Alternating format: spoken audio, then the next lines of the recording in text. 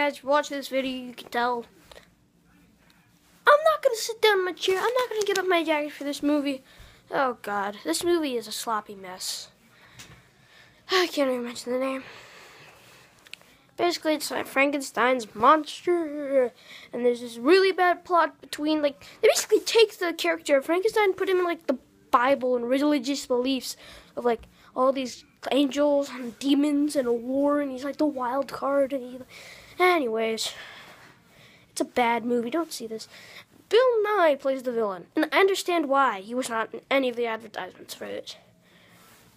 Because he just like if you've seen Love Actually, he does not play the character he's supposed to play. He does all these weird movements, and he's like, he, he literally does not think this movie he he doesn't take this movie seriously because if you see he's acting, he's acting all weird and goofy, and it's like he does not take the movie seriously.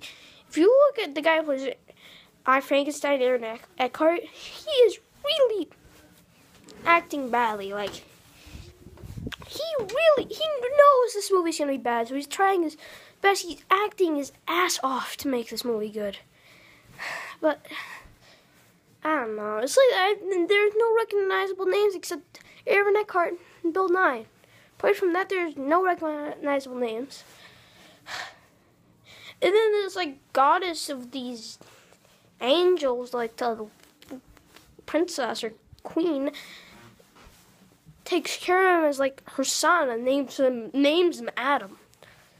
And then she just randomly in the middle of the movie tells one of her guards to kill him. And then he saves her him. She saves him the end of the movie. Like this movie makes is such a bad plot. The only good thing about this is Aaron Eckhart.